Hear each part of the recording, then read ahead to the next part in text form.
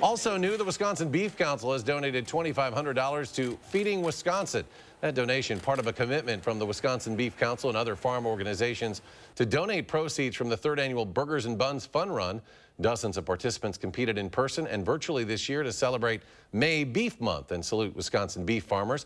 Feeding Wisconsin is the state association of six regional Feeding America affiliated food banks that provide food to almost 1,000 local food programs in all 72 counties in Wisconsin.